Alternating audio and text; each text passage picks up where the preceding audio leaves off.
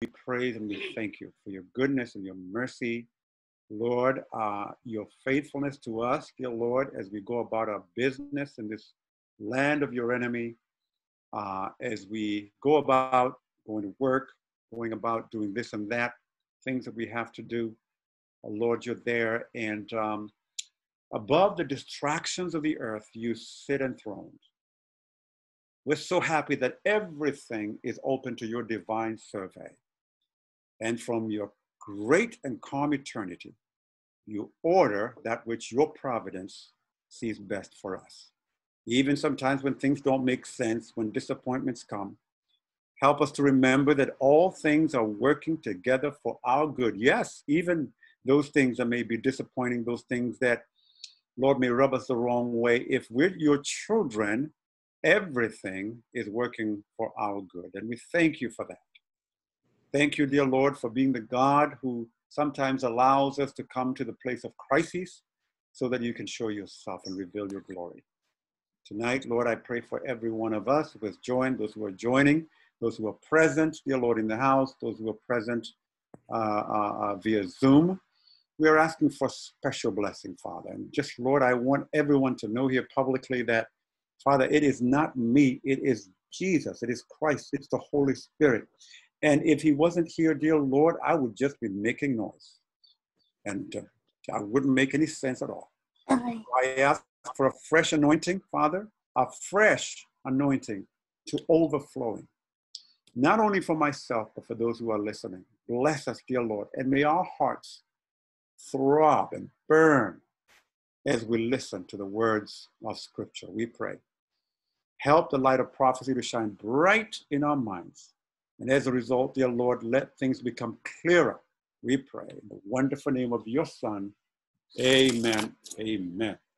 All right, all right. Uh, we're going to get started with our study. And before I start sharing my screen here, I want to make sure that um, where were we starting tonight? We're going to start where we ended last week. What I'm going to do. Okay. Let's see.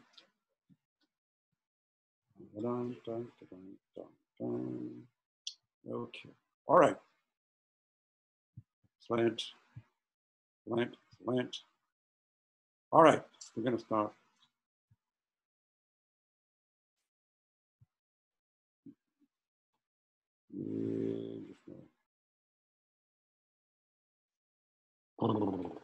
Yeah, so we're going to start. Okay.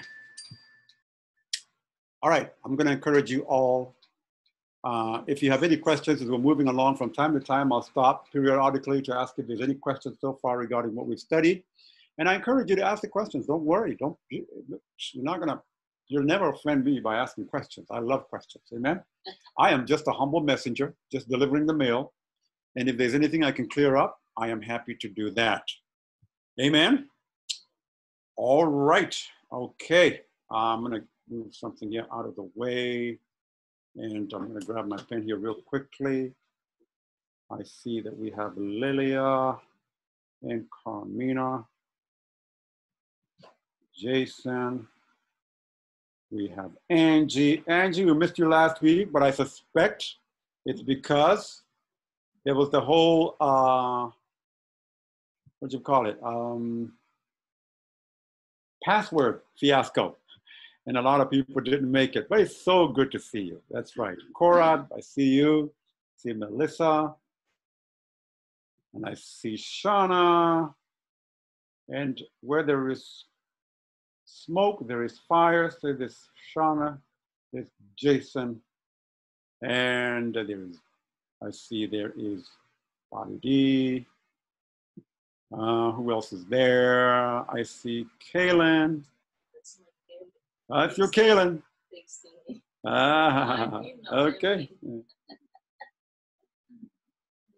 Excellent. All right. So I'm just be calling your name instead of going on. Well, who's next? I'm not going to be saying that. I'm just going to make sure that everyone is. And I'm even also going to include Justin. I see his name there. Could be Justin. It could be Julie. Somebody there. So anyway, here we are. We're going to launch in our study. Are we ready? I think we are. Okay.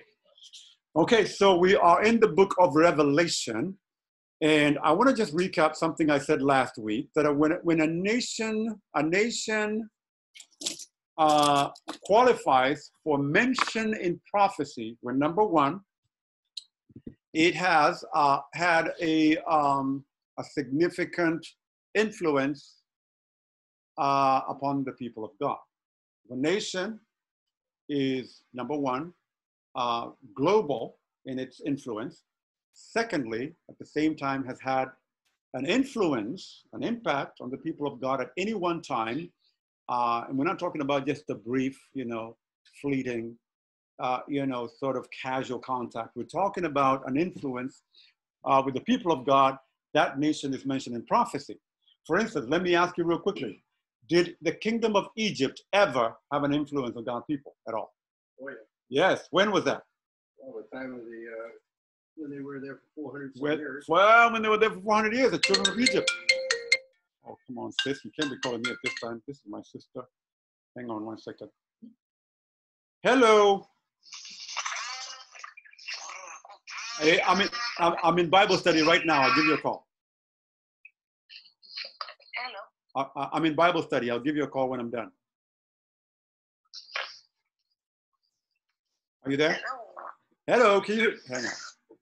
Hey, hey, I'm I'm in Bible study right now. I'll give you a call when I'm done. Oh, all right. My sister, all the way back when, calling me. That's Erica's mom. Okay. Um. So, so, so Egypt had something to do with God's people. Are they in Scripture? Oh, yeah. Yes. Yes, they are. Okay. Did Babylon ever have anything to do with God's people? Absolutely. Took them captive for 70 years. And so are they in scripture? Yes, they are. And then, of course, Medo Persia, because the, the children of Israel were there until the Medo Persian kingdom. Anybody familiar with a book called Esther? Esther is in the context of the Medo Persian kingdom. Okay, so Daniel, everyone was in the you know uh, kingdom of Babylon and Medo Persia. Uh, uh, and of course, the Greeks had something to do with God's people. The Romans had something to do with God's people. Our Lord was born and he grew up and he was crucified. And the Assyrians. And the Assyrians, that's right, all of those nations. Now, those were not the only nations that, that ever existed. They were not the only powerful nations that ever existed, but these nations had something to do, an impact on God's people. Now, has, um, does, does, has America had anything to do with God's people? about the pilgrims coming to this land so that they can have freedom. Okay? Was, is, is that big enough? It is. Okay, so America did that. This is the place where Protestants ran. Those pilgrims ran away from the tyranny of Rome. And had it not been for this country, they probably would have been extinguished over there in Europe. And so this country becomes this uh, place where the children of God run to. And they, you know, they found this nation that we found last week um, is a nation that allows freedom. Freedom, not just freedom of religion, but freedom of expression, liberty, both civil and religious, right here. But according to the Bible, this nation that is pictured in the book of Revelation, chapter 13, beginning with verse 11, um, this nation that has two horns like a lamb, okay, horns like a lamb, meaning it's young, it's useful, it, it comes up right uh, at the same time, at the time when the first beast that we've been talking about all the way since Daniel, all the way since we left Revelation. Remember when we were talking about the first seal, the second seal, the third seal, all that, the first horseman, second white horse, red horse, black horse, okay, pale horse. Uh, we got around to the pale horse period, and we found there that depicted the uh, uh, uh, the long years of persecution, papal persecution, paganism and Christianity coming together in the in the papacy, in the form of a papacy, to persecute God's children, and uh, that was the Dark Ages. A lot of history there, uh, a lot of history that you don't, you just can't go to uh, to uh, uh, uh, the bookstore and, and buy. You have to actually look for these books and find them. Okay, and there's a reason for that, and we'll find out why you can't find that history anywhere. Why it is that you can find the history of Hitler uh, persecuting and murdering some 7 million Jews. You can find that, but you can't find the history of the papacy murdering between 50 and 100 million Christians during the Dark Ages. Well, you can't find that. We're, we're going to be finding that out in a little bit. So now the papacy rules from 538, okay, when Vigilius uh, becomes the first pope, Justinian, the emperor of Rome, gives him the authority to correct heretics, okay? And when Constantine before him had moved the capital to Constantinople, the seat of Rome, the area of Rome was left vacant. The most powerful person there was the Bishop of Rome. And so he was made the corrector of heretics. And so later on, um, uh, around 538, becomes so powerful, and the uh, papacy, what we know to today as the as the kingdom of the popes, begins around that time. They reigned for a period of of uh, 300 and, uh, 1,260 years all the way to 1798. And when we studied last week, we found in a previous study that the one of his heads would suffer, sustain a deadly wound, which would later heal. We found that in 1798, Napoleon sent his general Berthier to uh, Rome. He took Pope Pius VI prisoner, took him all the way to France, and uh, the papacy there was considered by many in Europe to be dead. Many thought that that was it. That was a deadly wound. But we're told that the deadly wound would be healed. And uh, last week, I forgot to show you something. Uh, in 1929, uh, Mussolini, who was an Italian dictator, signed the, uh, oh, what was it called? It was called the, it was a treaty that was signed in 1929. Uh, again, uh, um, um, recognizing the papacy, the Vatican, as an independent city state. That's when the Vatican began to become an independent city state. And today in Rome, even though the Vatican is in Rome, I don't know if you all know this, but it's, in an, it's an independent city state. It is actually the smallest nation in the world. The Pope is its president. Okay, you need a visa to go to the Vatican. Okay, so it's an independent state. In fact, uh, Ronald Reagan is the first to have sent uh, the uh, first ambassador from the United States to the Vatican to represent this nation. And of course, we have what are called papal nuncios to almost every nation in the world. So this is a strange, kind of unique church that has actually is recognized by all the other political nations, and they have representatives in, in there, and it in turn has representatives in every country of the world. The Baptist church doesn't have that capacity, nor does the Pentecostal church or any other church in the world. This is that horn that rose among the ten that was different from the rest of them. How different? Because it was religious, it was a religio political nation. Amen? You know that, that when they meet in the United Nations from time to time, the Pope addresses them. You don't have ever seen Billy Graham address the United Nations or anything like that. He goes there in his capacity as the leader of the Vatican. So now, when the papacy sustained that deadly wound in 1798, when the Pope was taken to Rome, to, to France, and he died in a city called Valence in France, um, in 1798, we're told that in Revelation chapter 10, uh, the deadly wound was sustained, and in chap- verse 11, the very uh, next verse, another beast is seen coming up out of the earth at the same time. So around 1798, we looked at this nation that has two horns that we found represent number one, uh, youthfulness. It's coming up, not out of the water in populated areas, but in sparsely populated areas, from far from east, uh, the, the, the, uh, uh the uh, Western Europe, the United States rose to become a nation that would gain global prominence, influence, and power. So we're going to look at that a little bit here tonight and continue with that. So now notice here it says, He uh, exercises all, notice this, the authority of the first beast before him. This nation, the United States, will exercise all the authority of the first beast in his presence. Let me stop here for a minute. In Revelation chapter 13, same chapter, it's divided in two. There are two beasts. There is the beast with seven heads and ten horns. That is a composite of the beast we saw in Daniel. Okay? It is a beast that is a blasphemous power. And we're told that the dragon here representing primarily Satan, but in a secondary sense representing the Roman, pagan Roman Empire.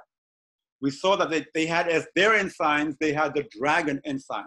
So the, the dragon would give this papal beast its, its seat and its power and its great authority.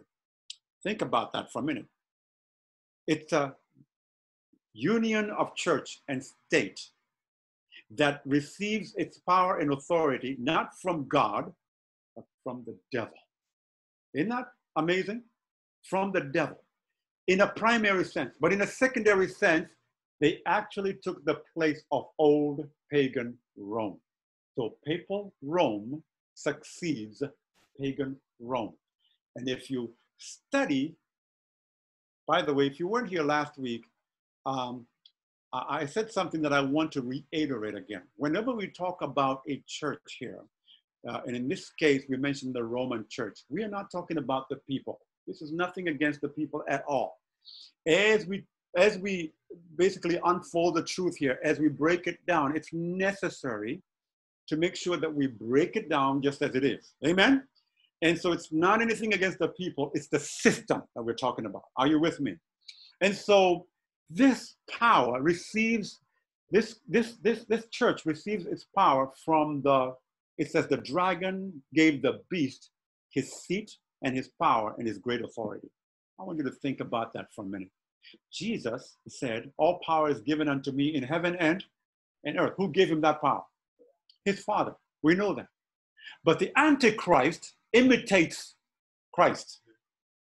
So it too receives power from someone, all authority.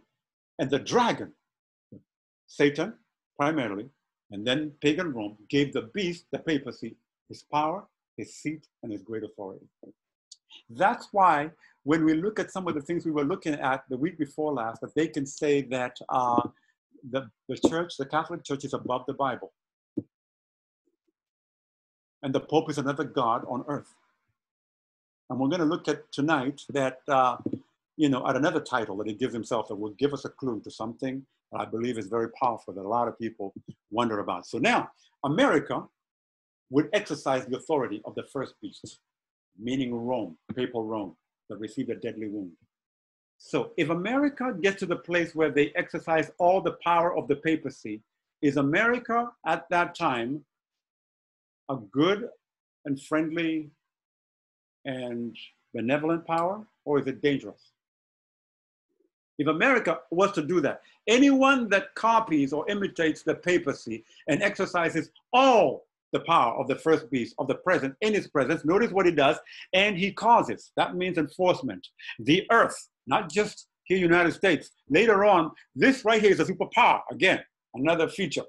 This power here is a superpower because notice it causes the earth and those who dwell in it to worship the first beast whose deadly wound was healed. Make no mistakes, my friends that one day America, we're told here, that it would lead out and it would empower, it would, it would, it would take the position of actually seconding and causing and forcing in some way, form or shape, the world to worship the papacy. We're going to see that. That the world's most powerful superpower will one day work with the papacy in order to give power to it. So let's move on and see what we can glean some more. Um, so to speak, we found means legislation to, and to cause means enforcement. So there will be some legislation here in this country. And in, and in that legislation, people will be enforced. Now, you notice when you have a law, you have to enforce it, right? There's no such thing as a law that you can sort of either keep or follow if you want or you don't want. This, this is going to be religious intolerance in this nation.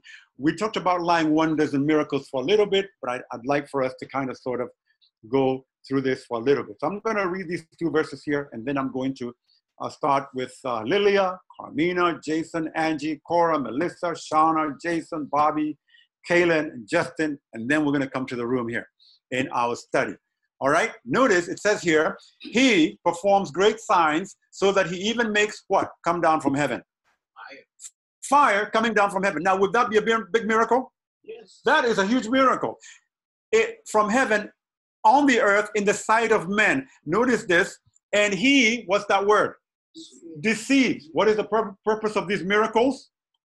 To deceive those who dwell on the earth by means of those miracles which he was granted to do in the sight of the beast. Now, if he is performing miracles and they are huge, and it is said that he is granted power to do these miracles, and the miracles are for the purpose and intent of, of deceiving, who gives him this power? Satan. It's Satan. We're about to see that in no uncertain terms. You're going to see the word speak.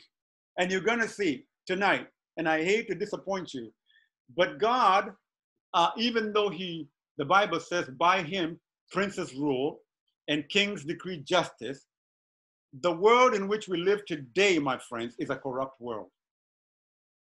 Is a corrupt world. The leaders who bind themselves in secret societies are not there in secret worshiping God. Are you with me? We're going to move on. Telling those who dwell on the earth to make a what? An image to the beast who was wounded by the sword and lived. Ha! So the way that people are going to worship the beast, the papacy, is not by worshiping it directly, but in worshiping what is referred to here as an image of the beast. An image. So as you worship the image, you're worshiping the papacy. Amen?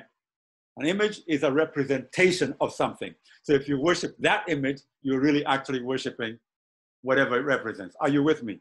Now, notice this. Um, we're going to talk about these signs and wonders. Lilia, if you're there, could you please read for us verse 13 of Revelation 16?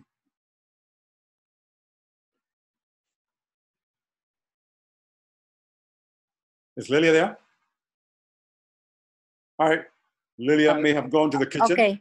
to take a bite. And I okay. saw, oh, I'm here. okay. And I saw Revelation 16, 13, and 14.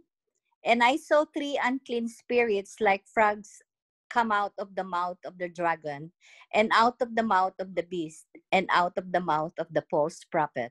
wow. Are these good spirits? Bad Where, where are they coming out of? What is the first thing mentioned? Out of the mouth of the who is that primarily? The dragon, Okay. Don't don't forget that. The dragon Satan. represents Satan. But Satan. in this sense, going forward, it also represents paganism. What does it represent? In a secondary sense, paganism. So paganism mingling with Christianity in these last days, out of the beast. The beast, of course, is Catholicism, and it claims to be Christian, and also claims to be it mingles Judaism, Christianity, and paganism, and all kinds of other aspects. And the false prophet. We're going to see in another study that the false prophet represents Protestantism in its apostate state. Protestantism or Protestantism in its fallen condition. How do they fall? We're going to see this as we move on in the book of Revelation. It's going to speak very clearly, and you're going to see that. So there's going to be this um, unholy trinity. You notice that? The dragon, the beast, and the false prophet. Everything that God does, you know, there's a holy trinity, the devil imitates. There, this is a counterfeit, okay, for the purpose of deception. You're going to see that in the very next verse. Carmina, please. For they are the spirits of devils working miracles, which go forth unto the kings of the earth and of the whole world to gather them to the battle of that great day of God Almighty. Okay, so these spirits that are coming from uh, i- i- uh, uh, uh, the mouth of the dragon, and there are the union of apostate Protestantism and Catholicism and paganism mingled together.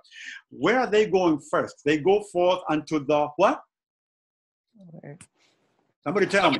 The- The third sentence. Where are they going? Kings. To the Kings of kings the- of the earth. Of the earth, just part of the earth. Uh, the, the fourth sentence. How, how? What part of the earth? The whole world. Whole world. The devil is interested in just part of the world or the whole world. The whole in world. the whole world. This whole world that God created, I take you back to our very first study when we started, started studying. We realized and we found out that Lucifer was kicked out of heaven because he wanted to be like God. He wanted to be worshipped. There was war in heaven. He didn't just leave. There was war. He was kicked out. And when he was kicked out, he determined that when he came to this world, he would deceive human beings. And at last, his purpose and his aim and his intention is that every human being on planet Earth will worship him, thinking they're worshiping God. You see, the very essence of deception is that you don't know you're being deceived. Amen?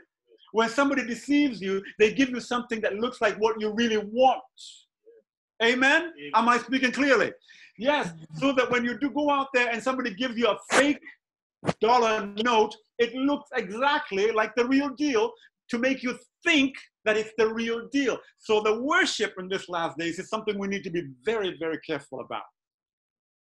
In that, the overarching principle that the devil works with and philosophy is that of deception. Watch. They first go not to the pop, uh, uh, uh, populace, they go to the kings of the earth, the leaders. If they can go to the leaders, then the leaders can influence their people. Amen? They, they can influence their people. Okay? Now, and the purpose is to gather them to the battle of the great day almighty. All the world. This is important, guys. Let's move on. Jason, can you read the next verse, please? Let me, let's go on. These are the words of our Savior. And what did he say in Matthew 24 24? Jason. For there shall arise false Christs and false prophets, and shall show great signs and wonders, insomuch that if we were possible, they shall deceive the very elect. I want you to mark those words. Those are words straight from the mouth of Jesus, our Lord, the one who hung on the cross and he died for you and I. Everything he speaks, he speaks in love. Everything he says is salvific and redemptive. Amen. He never says anything to put anybody down. He says, I have come that they might have life and have it more abundantly. Amen. He loved us so much that he did not give up all the way to the death, the shameful death of the cross. And he warned us right before he died. He says, In the last days, in the days that you and I are living in, he says, There shall arise false Christs and false prophets. These are false teachers. I wish I had time today. I could take you to Corinthians chapter 11 and show you there a place that says that even the devil, no marvel, for the devil himself is transformed into an angel of light. Therefore, it is no great thing if his ministers also be transformed into ministers of righteousness, whose end shall be according to their works. So let me say this to you the devil has ministers, the devil has pastors. Amen? And look, you think they just uh, pastor in the church of Lucifer? Oh, no, no, no, no, no. Remember, deception is the key. So they are in Christian churches today. Amen? And oh no, how are you going to know? Oh, because they, they, they have the pentagram on their head? No, no, no, no, no, no, no, no. Because they have a, a, a set of horns, if you look carefully? No, no, no, no, no. Remember, it's deception. You, I can't deceive you with a $20 bill that looks like a, a, a, a peso. 20 pesos, making you think it's a $20 bill. It has to look like a $20 bill. So the ministers have to look like the real deal. And so the devil realizes that, look, if I want to poison, if you want to poison someone, you can't just put a jar of uh, cyanide in front of them and say, have this. I want you to die. Mm-hmm. Unless you're a fool, you're not going to take it. But if I give you, if you come to my house and I supposedly I was that nefarious and evil, and I decided I didn't like you, and I just gave you a tall glass of cold orange juice on a hot day like this, and I put a drop of cyanide. Mm. Do you think you might take it unawares? You might do that, especially because you have confidence, you think we're friends. Mm-hmm. God forbid that I should ever do, do something like that. But I'm just using that to try to, to, to point out something that the devil is not your friend. And not everybody who says they're your friend is your friend. Not everybody who simply is preaching some truth is preaching all the truth. Because the devil knows this one thing that if you can just mingle some truth and then you put in some untruths in it, people will take it hook, line, and sinker. Amen? We don't want to do that. That's why I teach you to always have your Bibles, always see what the Bible is saying. Don't come here to say, well, we know we trust George now. He can just tell us what the Bible says. I can I can guarantee you I fear God enough to not ever, I'd rather not teach than deceive people. Amen. But I can tell you that you shouldn't put your trust in a human being, including myself. You trust in God. Is that fair enough? Now, so they shall show great signs and wonders in so much. This is Christ saying this. If it were possible, they shall they shall deceive even the very people of God. So don't ever say, well, you know, I'm in Christ, I don't really care. No, no, no, no. You owe it to yourself to study the word of which Christ said, or concerning which Christ said, man does, does not live by bread alone, but by every word. Amen? So don't be content with just a little bit of the truth. You want to know all the truth. Amen?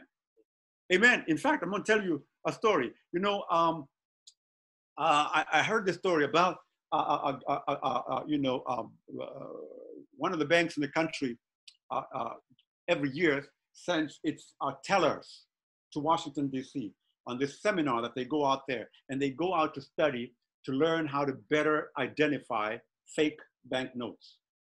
You know, they want them to be able to tell without the aid of that light or the pen they use and all that. They want them to be able to, just when they see it, they can tell it's a fake banknote. And you would think that tellers who deal with money every day, they're always just dealing with money, that they would know. But, you know, uh, counterfeiters have gotten really good nowadays. So they take them, every, every little trick that they learn, they want to make sure that the bank tellers know this. So one day they, they, they, they go for this uh, one week seminar and on their way back, one of the tellers says, you know, remarked and said, you know what, it's amazing. We go, we went this for a whole week studying about fake, how to identify uh, counterfeit money. And not once did they show us counterfeit money. You know, I'm just thinking about this. And then one, one after another in the airplane, they said, you know, that's true. We never, not one time. And then there was a, a, a, a their manager, we in the back, was quiet, and he says, "You know why? That was not unintentional. Is that the purpose is that you are uh, uh, acquainted with every detail, every minute detail of real currency, genuine currency. That you study the real thing so well that they know that after you look at it, as soon as the fake note appears on the horizon, you know it. In other words, you learn the truth not by studying falsehood. You learn the truth by exposing yourself to the Word of God, learning it, studying it, becoming acquainted with it. You can become so acquainted with it that if a minister is preaching either on television or anywhere else and you hear something, you're like, wait a minute, that doesn't sound right. Why? Because you're acquainted with the truth. Are we together? So now, notice what it says here in verse 13 8 as a result of these deceptions, guys, where the kings of the earth are gathered together, they're deceived, and then now they're deceiving their own. This is why this is so dangerous when you see leaders doing certain things that you don't always get yourself involved too much in politics. Let me tell you something. You can be lost in that way. Our faith and our hope are to rest in God. Can you say amen? Okay, let's hear uh, Angie. Angie, can you read for us verse 13, 8? What is the result of these deceptions? and all that dwell upon the earth shall worship him, whose names are not written in the book of life of the Lamb slain from the foundation of the world. Amen. All that dwell upon the earth shall worship. I say amen to your reading, not to what we're saying here, because this is really bad. I wish this wouldn't happen. But he says, All that dwell upon the earth shall worship him. The prophet John, looking ahead at this time, saw, as it were, the whole world worshiping the beast. It was like the whole world. The people that weren't worshiping the beast were so few that it looked like you could hardly tell where they are. And you, you, you gotta, you have to look closely. And we're gonna see why that is, okay? Now, uh, we're moving on, and I want Cora to read what comes next. We're gonna start talking about the image of the beast because we read about the image of the beast that would be uh, uh, um, created and people would worship it. And before you read this, Cora, let me just go through this quickly because I think we saw this last week. He deceives those who dwell on the earth by those signs which he was granted to do in the sight of the beast, telling those who dwell on the earth to make a what? An image, image. To, the, to the beast who was wounded by the sword and lived. So if you're worshiping the image, according to this verse, who are you worshiping? Okay, you notice it's an image to the ultimately you're worshiping Satan. That you know, but Satan is very smart, Alice. He knows not to come in person and tell people to worship him. Okay? When we worship God, we worship Him through whom? Through Jesus. That's right, right? If we recognize the Son and we worship Him, we accept God. If we reject the Son, we reject God. On the same token, if we worship the image of the beast, we are really worshiping the beast, and the beast was given power by Satan. So who are we ultimately worshiping? Satan. The Satan knows that. Is this very clear? Yes. Very clear. Okay? The dragon beast gave the beast his power, his seat, his great authority. Jesus says, All power is given unto me in heaven and earth. Go ye therefore and teach all nations. So go. I'm telling you to go. And as we go, we know to go because we're obeying the Christ who's given authority by God. So in doing what Christ tells us, we're doing what God tells us. Are we together? And so when you worship the image of the beast, you are worshiping the beast, which is the Roman Catholic power. And in worshiping the Roman Catholic power, you're worshiping the dragon that gave him the power. Is that clear? This is how Satan aims to fulfill his dream of being worshiped in place of God here on planet Earth. And please don't think, well, this is not going to happen to me. Let me tell you something. Our mother, Eve, was a thousand times smarter than you are. She was created by God. She did not have any inherited tendencies to sin. She was perfect. And she was deceived. Amen. The whole tenor of the Bible from Genesis to Revelation is to inculcate distrust in human nature and to encourage trust in divine nature. Can you say amen? Don't trust yourself. The Bible tells us that in the book of Proverbs. You know what? Uh, uh, uh, uh, what does it say? Trust in the Lord with some of your heart, with With all of your heart, and lean heart. not on on your, Your own understanding. In all thy ways, acknowledge Him, and He will Shall direct your direct path. So your there we see that the Bible constantly tells us, don't trust yourself. There is a way that seems right to a man, but the end thereof are the ways of death. So we don't follow what we think or what seems right or what other people are suggesting. Man lives by every word that proceeds out of the mouth of God. Is this understandable? So when we worship the image, we are worshiping the beast, the Roman Catholic power. And the Roman Catholic power, in worshiping it, we are worshiping the devil who gave it power. Amen. Amen. Let's move on. So he was granted power to give breath to the image of the beast. We're talking about the United States now, granted power to give breath to the image of the beast, that the image of the beast should both speak and cause as many as would not worship the image of the beast should be killed. Let me say this in a little bit. How many of you know that the Roman Catholic Church calls itself the Mother Church? Anybody know that? It claims to be the Mother Church. If you know the history of Protestantism a little bit, you will know that nearly all the Protestant uh, ref- reformers actually came from Catholicism. That's right. Okay. They started pointing out at what she was doing wrong. Martin Luther was actually starting to be a monk, a priest in Rome. Okay. Uh, in Germany, but he was, you know, he, he took a pilgrimage to Rome. He wanted to study that. Every single one of them. Catholic. There wasn't any other religion for a thousand years that you could be a part of. And so today they call themselves the Mother Church. I can show you evidence. In fact, if you Google up the Mother Church, it's the Catholic Church. That's what they claim. And so if you're a mother, it follows you must have what? What does a mother have? Children. Children. Okay. Absolutely. Children. And she claims the Protestants actually belong to them. I'm going to show you tonight Protestants actually saying that. Amen? So, it's coming a time when there's some kind of legislation, and whoever does not recognize the beast will be killed. Mhm. I know this sounds crazy, but it's the word of God. I'm just preaching it, I'm not writing it. Amen? All right. O king, remember this? You are this head of gold. Who was that king? Nebuchadnezzar. What kingdom was his? Babylon. Babylon. Babylon was a literal local kingdom. Okay? It was a literal kingdom. But did you know that in Revelation there is a spiritual Babylon? We're going to see that in our study next week. There is a spiritual Babylon. And the Bible says Babylon is fallen. In fact, we're going to see that Babylon is a church today. It means confusion. Okay? You are this head of gold. Now, Cora, can you read for us what's on the screen? Daniel 3 Nebuchadnezzar the king made an image of gold, whose height was 60 cubits and its width 6 cubits. He set it up in the plain of Dura in the province of Babylon. Okay. This is Nebuchadnezzar, the one that had a dream, forgot what he dreamed. And you know what happened? Daniel came and he told us, This is what you dreamed and this is what it means. And he revealed to him that you are the head of head of gold. Nebuchadnezzar was so upset. What do you mean head of gold? I want to be the whole image. Because Nebuchadnezzar was a proud king. He didn't want, he thought, like all kings think, that his kingdom would last forever. And when God revealed that he was only the head and he would be succeeded by chest and arms of silver, the Medo Persians, and after that there was a he didn't even want to hear anymore. He said, wait a minute. No. So in defiance of God, in the very next chapter, he, he created an image of gold from head to toe. And guess what? He set it up in the plain of Dura. Do you see those three guys standing up?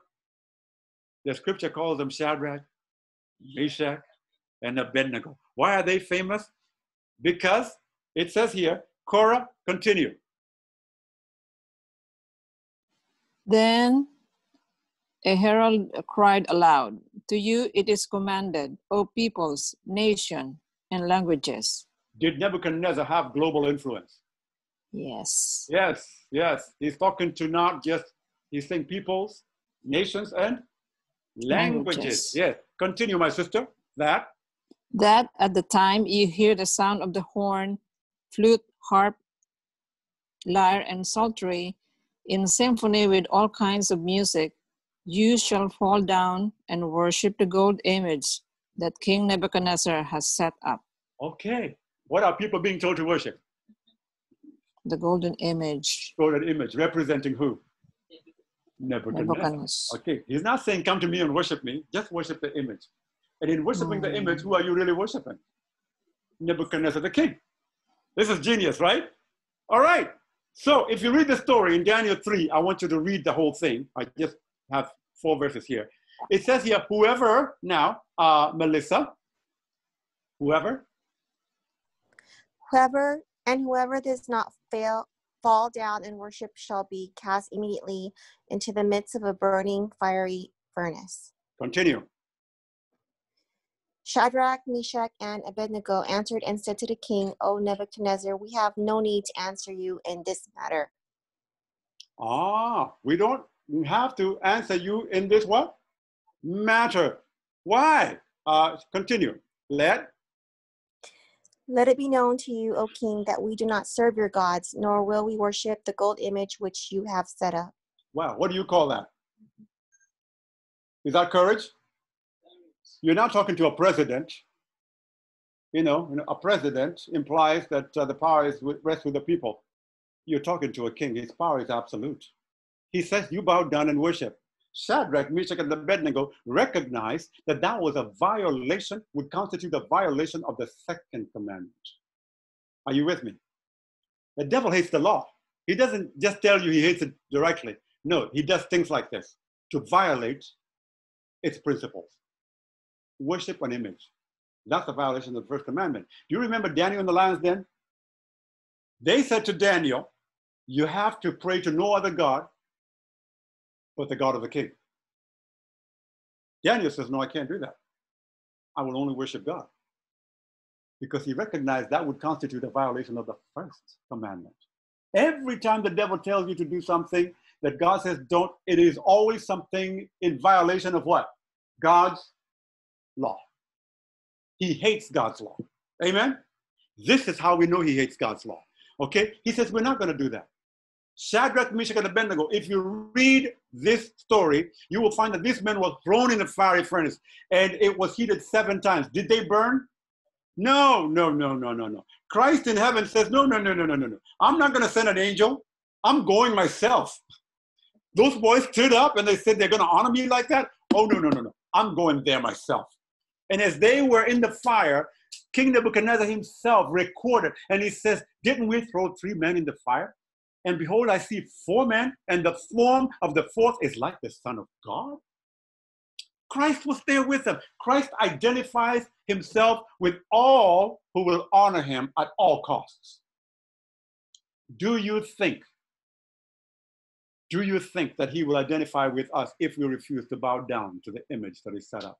If you refuse the mark of the beast and all that. I tell you that he will. And I'm going to give you some uh, uh, uh, uh, proof here in a little bit. Now, in Daniel, we have a local and a literal interpretation. In Revelation, we have a global and a spiritual application. So in Daniel, we have a Babylon and we have an image of, of, uh, of uh, uh, that they have to worship. In Revelation, we have a Babylon and we have an image. In Daniel, it's local and it's literal. In Revelation, it's spiritual, meaning we're not going to all be called San Francisco or someplace in Sacramento to go down to bow down to an actual image. Are you listening? But it would constitute in the enforcement in some kind of legislation that this nation will leading out and then followed by the rest of the world, something that constitutes, if in obedience to it, something that constitutes an acknowledgement of the authority of the papal see and therefore of the devil. Are you with me? It has to do with authority. Okay? And because there's so many people that, you know, uh, some of you miss Bible studies here and there. If we all have been studying together, it would make sense what I'm saying today. Amen? Because um, God's seal is placed by God Himself on the foreheads of every one of His children. In Revelation chapter 7, we read about of four angels holding the four winds north, east, west, and south. Amen? They're holding the four winds of strife, of human passion. They're holding right now. It says, until we seal the servants of our, of our God in their foreheads. Did we see that? And we discovered that according to the prophet Isaiah, the seal of God is found in God's law, in the heart of God's law. We compared a seal. We went out there. We saw the seal of the President of the United States, the seal of the President of Canada, the seal of so many presidents. It's essentially the same thing. It is something that shows, proves authority. Amen? It shows the, it gives the name and the title and the territory of the ruler. Amen? And so, in the heart of God's law, when you look at the fourth commandment, the Sabbath commandment contains the seal. It alone tells, gives us the title and the name and the territory that God rules. You remove that, you take away the seal from the law. Are you with me? So, what does the devil do? The devil always counterfeits what God has.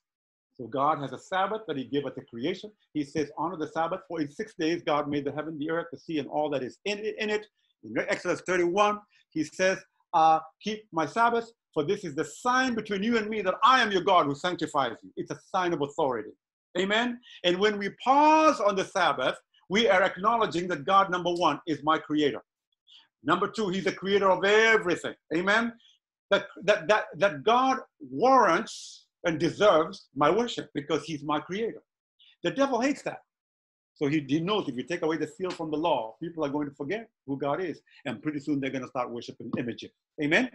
Now, so that's the trick. The devil then comes along with his own counterfeit. And his counterfeit is not a seal, it's a mark. Where does God place his seal? In the forehead. Where does the devil place his mark? In the forehead and in the hand. Amen? We're going to see that. One of these days, we'll talk about just the mark of the beast itself, and we'll look at it from Scripture, and you'll be able to see that. Now, notice he causes all both small and great, rich and poor, free and slave. Notice this to receive a mark where? All on their foreheads. Hey, in case you're wondering, it's not something people thought, oh, you know, when the barcode came out, people say, oh, that's that's the mark. When the Social Security people, uh, numbers were issued, people thought, oh, that's the mark of the beast. No, no, no, no, no. Remember, it's a spiritual application and it has to do with worship. Amen? The devil gives a mark and it's the opposite of God's seal. Amen? You receive it in your forehead or in your hand. I need to take a moment and just talk about this for a minute. It didn't say you receive it on your on your right hand and on your forehead. It's either or. Do you see that? You either get it on your forehead or where? On head. Number one, why the forehead? The brain is divided into lobes, right? The front part is called the frontal lobe. This is the seat of judgment and decision making. Amen? For years, I worked in a dementia unit. That's where we met, right? Alzheimer's unit and all of that. Do you know what lobe primarily dementia attacks? right here. That's why it affects their decision making, right? And what they can't remember stuff, right? All of that and everything. It, it, it impacts, that's why, you know, uh, they become incontinent and all of that. You know, it is the seat of morality and all of that. This right here is so very important, and I wish we could study it. And you could see that I could show you that this is the place somewhere in there where God speaks to human beings. And any place where God speaks to human beings becomes a target of the devil. Dementia is an invention of the devil. Amen? Because we're made in the image of God, and he hates that. And we show that when we think rationally. Amen? And we act rationally. So it pleases the devil when God's creatures are affected to where they can't think and grown men and women become like children. It pleases the devil, amen? Mm. And it hurts God ultimately. Are we together? So the forehead, so when you receive the mark on your forehead, it is a settling. It's something you believe right here, and it is revealed. How do you reveal your, your, your, your faith or your belief? By your, or what else? You, your actions. The right hand is a symbol of work or action. So there are those who are going to believe it. They have the mark because that's what they believe, that's what they choose to believe. They're deceived. Others will do it out of convenience. They don't believe it, it's just in the hand. They're like, okay, you know, I don't believe it, but if I don't do it, I'm going to lose my job and all of that. You receive it in the hand. Okay? Either way, you receive it. My friends, you don't want the mark anywhere. Are you with me? You want to be like Shadrach, Meshach, and Abednego. You want to stand up and say, No, I will not do that. And I you can do whatever you want to do to me. Take away my job, do it. My God is going to help me. And even if he chooses not to help me right now, I still I'm not going to do it. Amen. You want to say like Job, though he slay me, yet will I serve him. Do you recognize that? My dears, I want to tell you this. God sometimes chooses to allow his children to die. He doesn't always have to deliver you in every little thing. He allowed his son to die. He allowed John the Baptist to die in prison, right? He allowed Peter to be crucified upside down. He sometimes allows his children to die. So let's not entertain this sentimental idea that, oh, I'm a Christian, nothing ever bad will ever happen to me. Sometimes when you're suffering, it is then sometimes, sometimes when you can glorify God the most. God can show the difference between how his children patiently can suffer and still believe in him versus how the, the, the world, uh, you know, takes when they're suffering and when, they, when they're in a bad place. Sometimes you can glorify God when you're in trouble. Amen? Amen. So let's move on. Are you, is this understandable so far?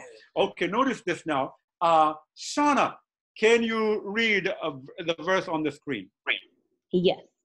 And that no one might buy or sell save he that had the mark, or the name of the beast, or the number of his name.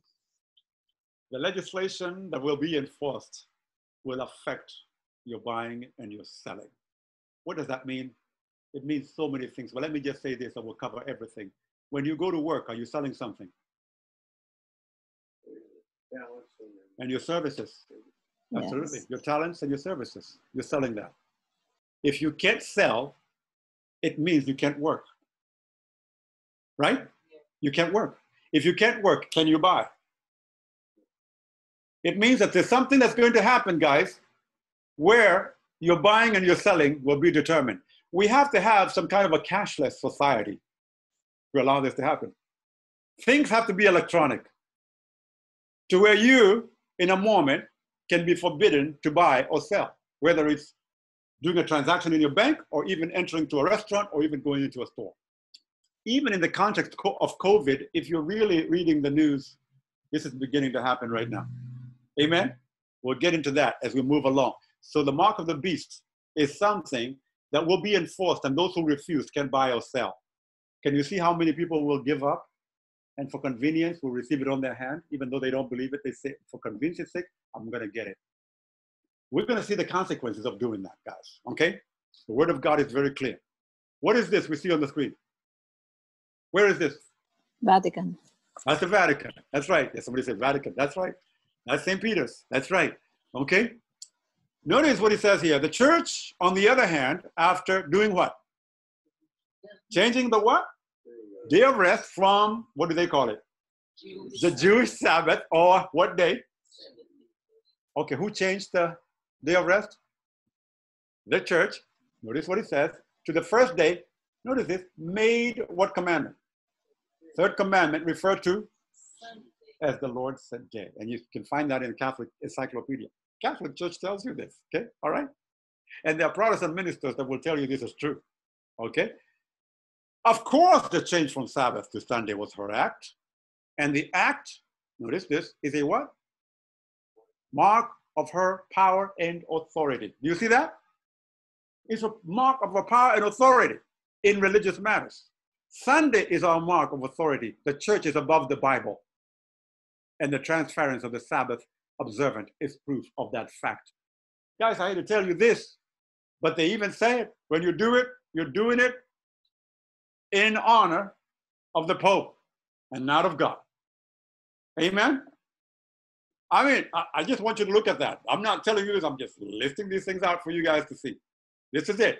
God, on the one hand, says, listen, he told Shadrach and Meshach and Abednego, don't bow down to images. Nebuchadnezzar says, there's an image over there. If you dare not worship it, I'm going to throw you in the fiery furnace. The guy says, we're going to worship God instead of you. You're going to throw in the fiery furnace? That's fine.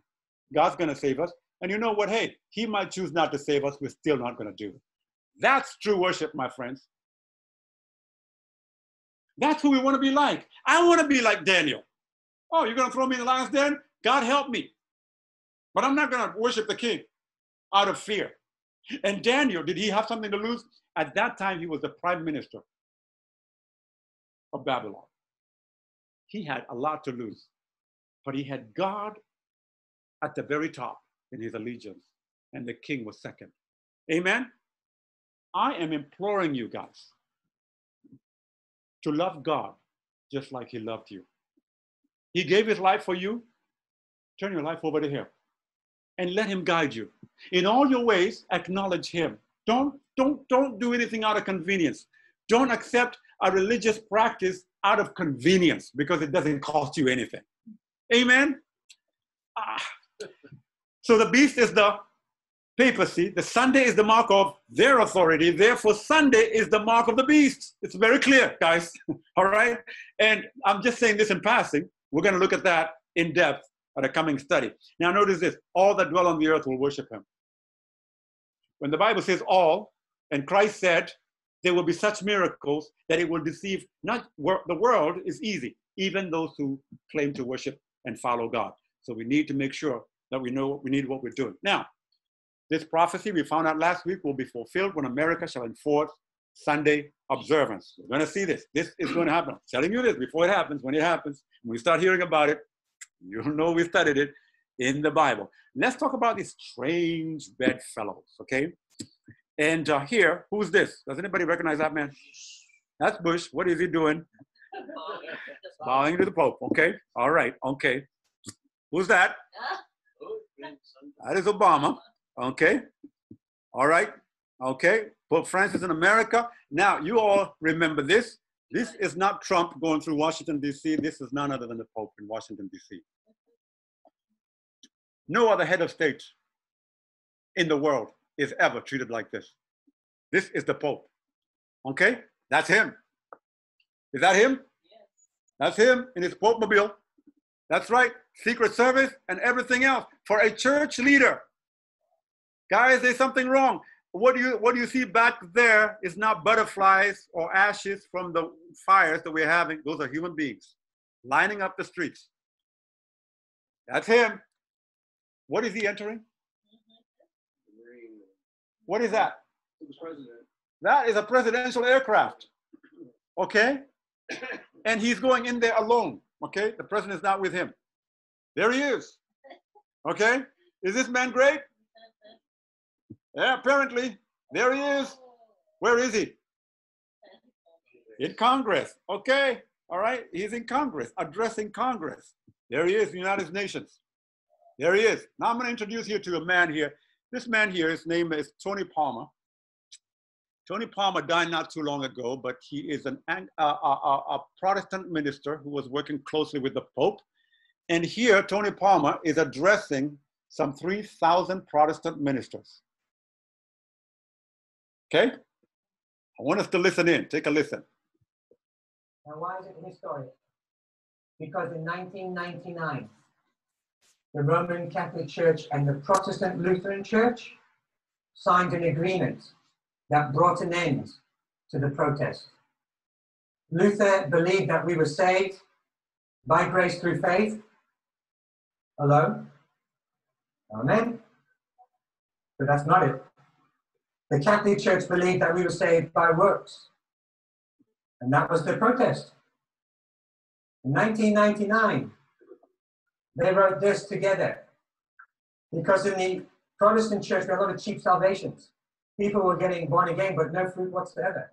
And because we didn't even look for fruit, it wasn't the issue, because it wasn't necessary for salvation. And no, it's not. But it's a good judge if you are saved. So what these two churches did, they put the two definitions together. Listen to it. I'm reading verbatim from the Catholic Vatican website. Justification means that Christ himself is our righteousness, in which we share through the Holy Spirit in accord with the will of the Father. To, together, we Catholics and Protestants, Lutherans, believe and confess that by grace alone, in faith in Christ's saving works, and not because of any merit on our part, we are accepted by God and receive the Holy Spirit who renews our hearts while equipping and calling us to good works. All those are ministers, guys, not a congregation.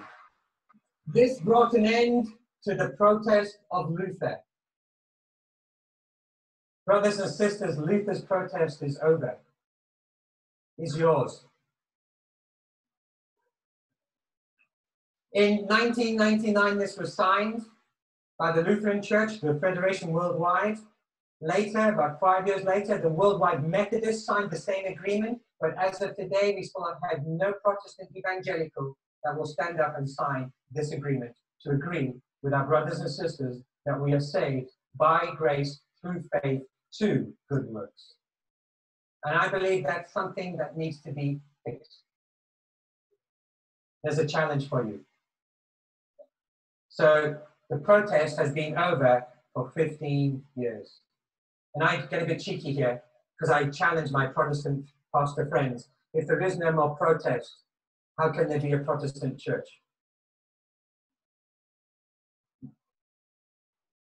Maybe now we're all Catholics again. But we are reformed. We're Catholic in the universal sense.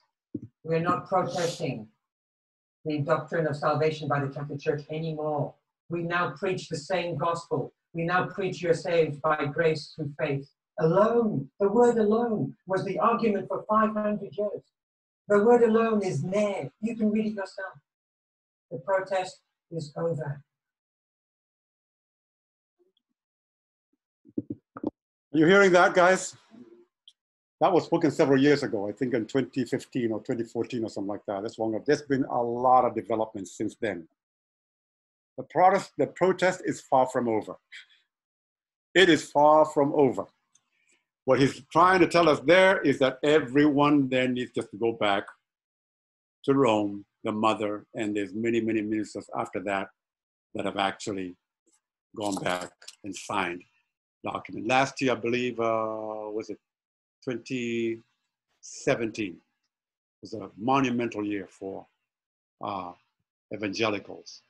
You know, they, uh, many of them signed a document that they took to Rome uh, with representatives and handed over to this current pope here. And so the movement is fast gathering strength, guys, and the whole world, the Bible says, will worship him. Here is wisdom. Let him who has understanding calculate the number of the beast. It is a number of a man. His number is 600 and what? 66. This calls for wisdom. The one who has, has understanding, let him calculate the number of the beast. This is the English Standard Version. For it is the number of a man, and his number is six. Six what? Six. Notice here, uh, real quickly, Catholic Father Luci Ferraris, in his Latin encyclopedia called Prompta Bibliotheca, whatever, whatever, whatever, they love this Latin thing, says this, as the blessed Peter was constituted the what? Vicar of the Son of God on earth, so it is seen that the pontiffs, his successors, hold for us in our empire, what is what they call it, the power of supremacy on the earth greater than the clemency of our earthly imperial serenity. What just happened there? I don't know what just happened, but uh, I think we were kicked out real quickly here. Let's see. Uh, let's get out of that. I'm gonna stop. Hang on, my friends, real quickly. We'll get this back here. Are we there? No, we're not, because I'm not sharing. I need to share the screen. And then now I need to share. And here we are. We're back. All right. So our Sunday Visitor, a Jesuit publication, published two admissions that Vicarius Filii Dei is in fact a title for the Pope. Notice this, in November 15, 1914, the title of the Pope of Rome is what? Vicarius Filii Dei. A Latin phrase meaning vicar of the Son of God, a representative of the Son of God here on earth in person. Okay? Notice what it says here in this issue. This is inscribed on his mitre, and if you take the letters of his title, printed large, and add them together, they come to what? 666. Well, you know, you're probably wondering. Here's another one.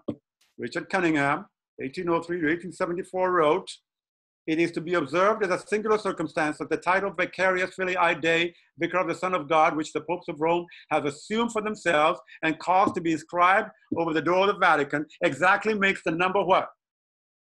666, here it is. Vicarius Filii Dei in Roman numerals, since the Roman Catholic Church. You notice that, Vicarius, you just add them up, and you notice vicarius adds up to 112, filii, 53, dei, 501, add all those together. We're told it is a number of a man in the book of Revelation, and his number is 666.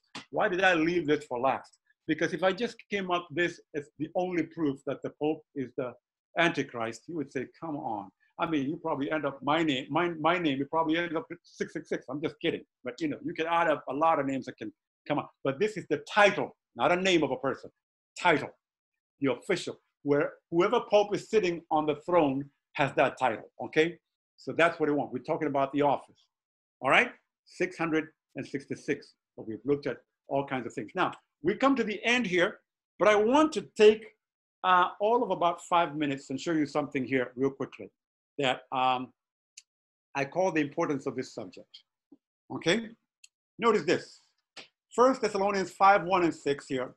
Notice these words. But concerning the times and seasons, brethren, you have no need that I should write unto you. Why? For yourselves know perfectly that the day of the Lord comes as a what? If in the night. Notice, for when they shall say what? peace, and then what will happen? Sudden destruction comes upon them as labor pains upon a pregnant woman, and they shall not escape. But you, brethren, Christians, you believers, you're studying this tonight, are not in darkness. Notice this, so that this day should overtake you as a thief. Question Is Christ coming going to be like a thief to everyone? According to verse 4, Paul says, You, brethren, are not in darkness, so that this day should overtake you as a thief. You know, a person coming as a thief doesn't, you know, this phrase means here it's unexpected. It's unexpected and unwelcome. Is a thief welcome? No, it's unexpected. And Christ says that the Bible tells us that Christ's coming will be to the world as a thief, sudden and unexpected. To the Christian, it will not be sudden and unexpected. Why?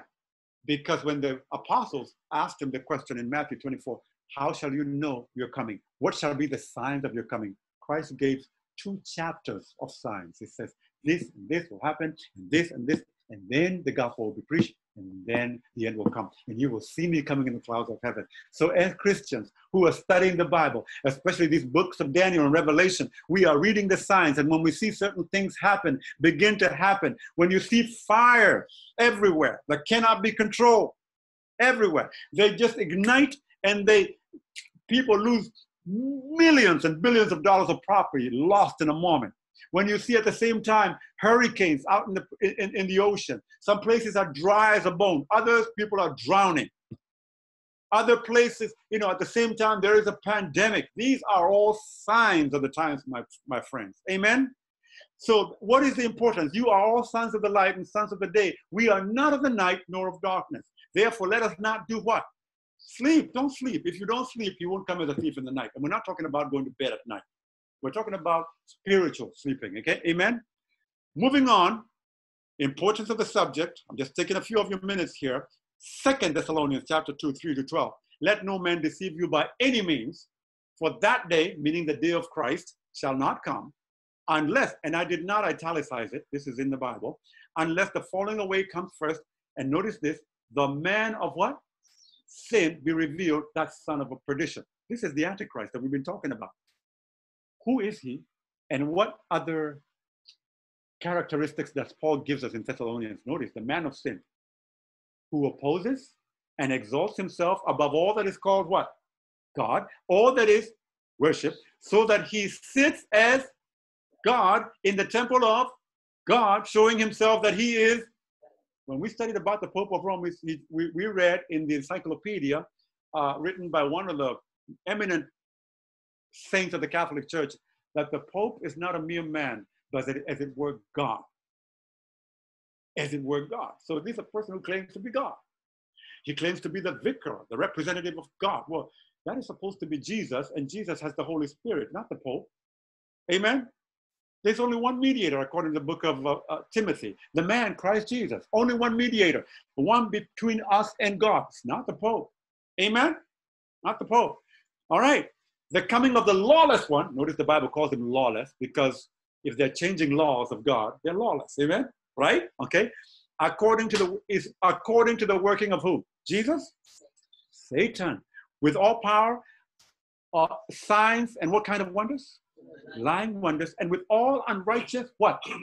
Deception. Now notice this. Among those who perish, follow me carefully here. Why do they perish? Why is all the world going to worship the beast? Because they did not receive the love of the truth that they might be saved. It is quite one thing to obey the truth because you are scared or because you have to. It's quite another to love it. Do you know that the truth is not something, it's someone? Did you know that? Jesus said, I am the way, the truth, and the life. The truth is someone, and it's Jesus. For God so loved the world that he gave his son. Are we going to love him back? If you can love him back, you show that by keeping his truth. If you love me, keep my commandments. That's what it says. Amen? We can't just give him lip service. We don't obey him, but we're just saying it. That's the, that's the Christianity of today. People are sentimental about things. Oh, I love God. Well, okay, well, how, how do you prove it? How is it evident that you love Him? Do you obey Him? Do you keep His commandments? Do you just keep some of them? Do you keep all of them? Amen? James tells us if you keep all and you break one, you're guilty of all. The devil knows that. So mark this the devil is not going to tell people to hate God's law and throw it away. He's going to mess with one of them because he knows that one truth that all Christians should know that if you break one, you're guilty of all. Amen? Now, moving on here, it says this. And for this reason, this I always find very, very, very unique. God will send them strong delusion that they should believe a lie. If God, after giving you his truth over and over, all you're trying to do is find a way around the truth uh, to, for convenience. If you're studying convenience because you don't want to sacrifice for God, God reads that in the heart. And one day he will say, okay, he, how does he send delusion? It's not, God has no deception that he can send you. It is God that shields us from deception. What this is saying and implying is that God will remove his hand and protection and allow the devil to deceive you because that's what you've taken and chosen. Am I making any kind of sense tonight, my, my, my, my uh, dears? Notice what Revelation says here. Here we're going to find the, I'm telling you, this section, I entitled it, The Importance of this Subject. Let me forewarn you. This right here is the most severe warning in all the Bible. And I don't say that just to say that. You can study from Genesis to Revelation. This is the most severe anywhere to be found. And it is a warning against receiving the mark and bowing down to the image. Notice, and the third angel followed them, saying with a loud voice, Why am I reading? Why don't I ask Jason to read that? Jason, help me out. And when Jason, you're done, Bobby D, get ready, and Kalen and Justin. And the third angel followed them, saying with a loud voice, If any man worship the beast and his image and receive his mark in his forehead or in his hand, uh-huh. the same shall drink of the wine of the wrath of God, which is poured out without mixture into the cup of his indignation. Uh-huh. And he shall be tormented with the fire and brimstone in the presence of the holy angels and in the presence of the Lamb. What is this warning against? Guys. If any man worship the beast or his image or receive his mark in his forehead or where? Or in his hand, the same will drink of the wine of the wrath of God, which is poured out without mixture. Why did I say this is the most severe? Because nowhere else in the Bible do we see God's wrath without mixture. What does that God's wrath without mixture mean? God's wrath always in the Bible, wherever seen, is always mixed with mercy. It's always mingled with what? Mercy. That means God never just destroys people and leaves no one. In the time of Noah, we see God's wrath. He destroyed the whole world, left eight people. In the time of Sodom and Gomorrah, he destroyed all those cities, and there were but three people that were saved. It's always mingled with mercy. Amen? That the world is not destroyed. It's not destroyed. People then come back and they repopulate and all of that. But this wrath, my friends, this is the final wrath of God. And it is the most severe because it constitutes behind it, it is a worship of the devil. And when we worship that, and when nations align with themselves with him, they pretty much identify themselves with the devil. God will have no other recourse than to destroy the world. What is the wrath of God? It will be preceded by a series of plagues called seven last plagues. That's what they're referred to. And they're found in the book of Revelation, chapter 16. Seven last plagues. We're going to look at them one of these days soon. And a lot of people have been deceived into thinking that, oh, when those come, I will be raptured away. I'll be in heaven. I don't have to worry about that. I am here to uh, uh, posit to you tonight that that is a deception of the devil himself. No, no, no, no. Read that very carefully. Revelation 16. No such thing. God's people are going to be right here on earth when those plagues fall. But God will shield them from those plagues. And David in Psalm 91 said, Because you have made the Lord, which is my refuge, even the Most High, your habitation, there shall no evil befall you, neither any plague come near your house. In Egypt, right before they left, the people of God were in Egypt when all those plagues, one by one, fell. They weren't out in the wilderness, they were in Egypt. But they were saved through the plagues. And when the last plague fell, when the angel of death came and, and slew the firstborn, it was not until that last plague came and it took the lives of the Egyptians who did not worship God, who did not have the blood of the Lamb on their doorposts, that the children of Israel were then sent out and they left Egypt, the house of bondage.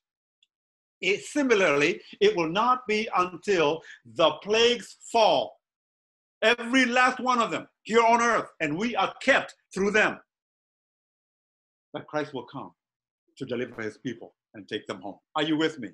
God is able to keep his people. One of the biggest deceptions, my friend, is that Christians are told today that you're not going to be here during a time they call a time of tribulation. You're going to be in heaven. Let me tell you something. This is singularly the number one cause why so many Protestants have no interest in the book of in the book, by, uh, book of Revelation. They say it's not gonna, we're not going to be here, so we don't need to understand this. If I don't understand it, that's fine. I won't be here. But it's a deception. If you're not here, then why is the devil sitting here just, you know, bothering with people who just, oh, well, the other deception is that, oh, yeah, they're given a second chance and then they're saved. I remember a friend of mine who told me that once a friend came and uh, they were sitting there and some Jehovah's Witnesses came and they said to them, you know, yeah, you know, and they, after telling them about all these plagues, one of the friends asked, wait a minute, I want to ask you a question. Uh, isn't there going to be a second chance given to uh, the people that are going to be living in the earth? The man says, yes. And then before he could say anything, yeah, yeah, then I don't want to listen to you. I'll take my chance then. If there's a second chance, I don't have to listen to you today. I'll wait until then. That is a deception. There is no second chance, my brothers and sisters. Amen? You're not going to find that anywhere in the book of God. So we're almost done here. Okay, give me one more minute. The smoke of their torment ascended up forever and ever, and they have no rest, no day or night, who worship the beast, his image, and whoever receives the mark of his name. Is this pretty clear? Is the warning clear? Don't receive it. There is no chance when you receive it. Amen? Now, I don't know why this is going on. Okay, here's the, notice this. There's going to be some Shadrachs, Meshachs, and Abednego's. Here they are. In the midst of a world that is worshiping the, the beast, here are they that keep the commandments of God and have the faith of Jesus. These are the, few, the remnant. Just like Noah in the ark with the eight people, like like Lot and his few children who left, like Caleb and Joshua, who alone was saved out of the two million people who left Egypt. There's going to be a remnant that is going to be saved. Why? Because they're special or because they believe some special thing? No, no, no, no, no, no, no, no, no. Because they stand up and they say, wait a minute, uh-uh, we are going to keep the commandments of God. If you tell us to bow down before the image, that constitutes a violation of the law of God, second commandment. If you tell us to keep Sunday, that's a violation of the fourth commandment. We're not going to do that. Oh, we're not going to buy or sell? Fine. We're not going to do it. If we can't buy or sell, if you take away my house, if you take our property, go ahead and do it. These will be the Shadrach, Meshach, and Abednego. They will be with nothing. They will recognize, they will follow their Lord wherever he goes, because while he was on the cross, did he have anything? Did he have any earthly thing? Whoa, my Lord didn't even have a simple little robe to cover his private parts. He was there hung naked. He had nothing on the cross. And yet we want to study convenience. We don't we want to go to heaven supposedly the easy way. While we're carrying, I want to drive my Lexus there or my Mercedes or whatever it is you have, you know. I I, I don't I don't want to we're not going to get it. There's not two ways to heaven. Christ says, I am the way. And you got to follow me. Pick up your what? Your Lexus and follow me. Is that what he says? Does he say, pick up your Tesla? Is that what he says? Or whatever it is you drive, or wherever you, you live, and follow me. He said, No, pick up your cross and follow me. Every one of us has a cross. Amen? Amen? I saw something like the sea of glass mingled with fire, and those who had victory over the what? And what else? What else? And the number of his. Now notice they're standing on the sea of glass. They have victory over these things. Notice standing on the sea of glass having the harps of God, and they sing the song of Moses, the servant of God, and the song of the Lamb. Uh, and notice this. Uh, then I heard a loud voice from the temple saying to the seven angels, Go and pour out your bowls of wrath, of the wrath of God on the earth. Here it is, the wrath of God. Mingle without, unmingled with mercy. So the first went, notice the wrath of God on whom it fell. These are the seven last plagues. They're going to fall right here and you and I are going to be right here. But you can escape them if you stand with God and decide, no, I'm not going to be moved. I'm going to do whatever you tell me. I'm going to follow the Lamb wherever he goes. Amen? Even though it cost me my life. Notice this. He poured his bowl upon the earth, and a foul, loathsome sore came upon the men, notice, who had the mark of the beast and those who worship his image. wow. Gosh, this is the last one here. I saw thrones, and they sat on them. Judgment was committed to them. And then I saw the souls of those who had been beheaded for their witness of Jesus and for the word of God, who had not worshipped the beast or his image and had not received his on their what? Foreheads. What does it say in the bottom? And they lived and did what? Reigned with Christ for a thousand years. Let me tell you something. That's why Christ to the seven churches continues to say again and again, he who overcomes, he who overcomes. My friends, this is the test that is coming upon you and I, and we must overcome this. So, in closing, I want to say this.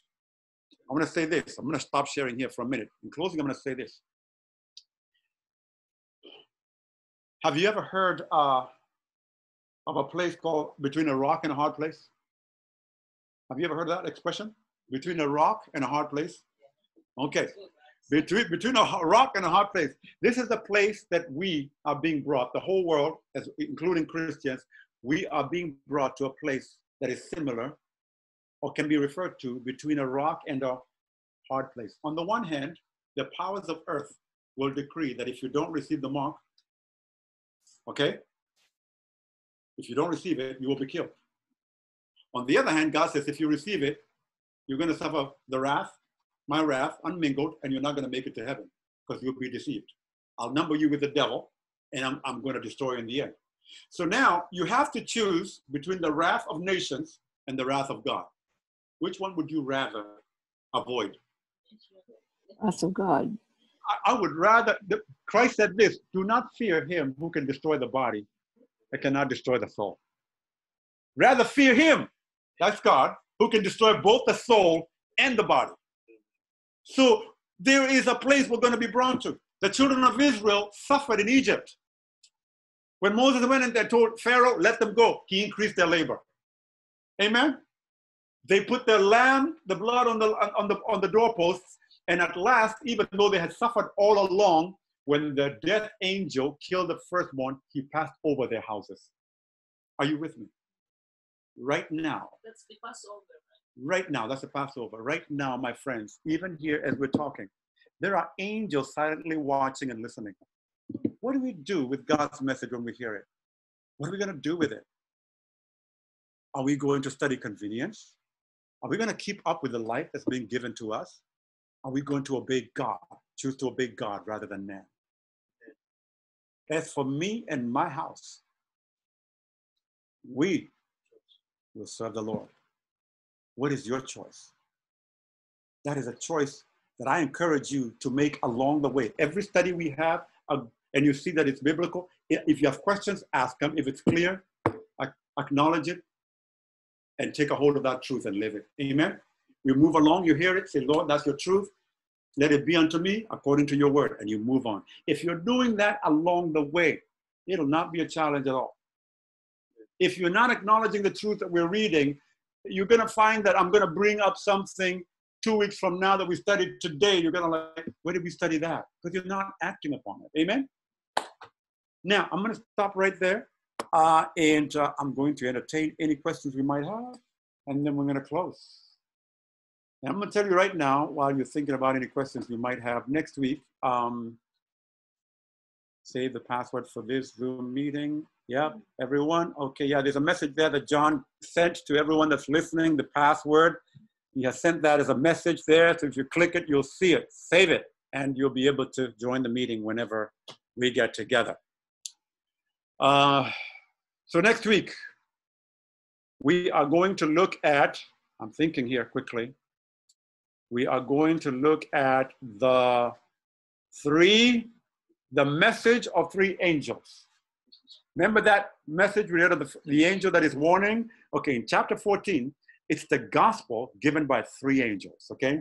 It is the last message to be given to the world, and it's given, it's a threefold message. We're going to start looking at it next week. The message of three angels. Okay? Uh, go ahead and, and, read Revelation 14. It's very short. Uh, we're going to be looking at it, uh, and um, and uh, especially from verse six.